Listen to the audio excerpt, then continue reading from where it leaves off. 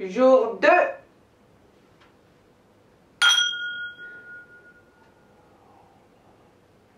Nous sommes en guerre.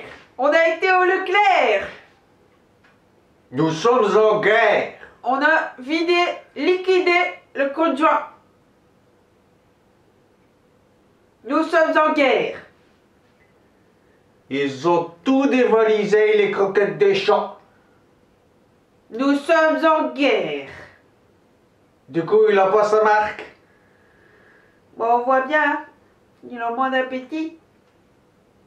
Hein? Nous sommes en guerre. Ils ont vidé les rayons papier toilette. Ils ont vidé les rayons crème. Crème fraîche. Nous sommes en guerre. Mais le rayon 20,